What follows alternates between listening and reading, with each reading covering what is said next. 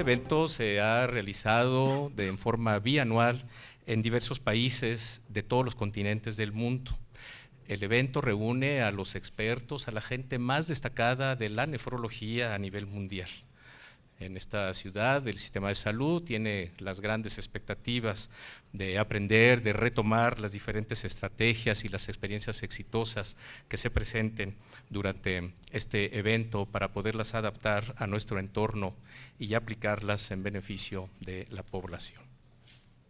Con relación al programa científico, les quiero comentar que es un programa bastante sólido, cuenta con una gama de actividades académicas en diferentes simposios, en sesiones plenarias, en cursos. Y el tema central, el foco principal, ustedes lo ven en la imagen de, este espectacular, se relaciona precisamente con la diabetes y la enfermedad renal crónica. Les quiero comentar que la enfermedad renal crónica es considerada en la actualidad como un problema de salud pública mundial. Les quiero comentar también que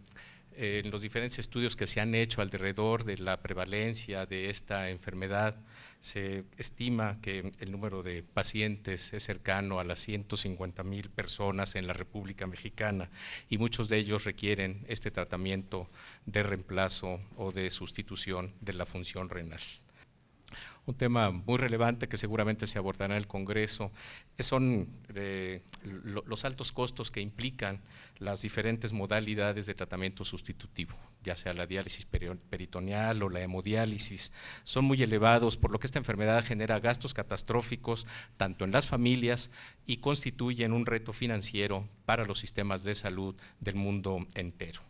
Nuestro país, nuestra Ciudad de México, comparte pues esta problemática. Por eso, en los últimos años, los esfuerzos en la Secretaría de Salud se han dirigido a modificar los factores de riesgo que originan esta enfermedad, que se relacionan con eh, mejorar los estilos de alimentación, con evitar la inactividad física, que son conductas que predisponen al sobrepeso, a la obesidad y que estos originan a su vez enfermedades como la diabetes eh, mellitus, que insisto es una de las principales causas que originan enfermedad renal crónica.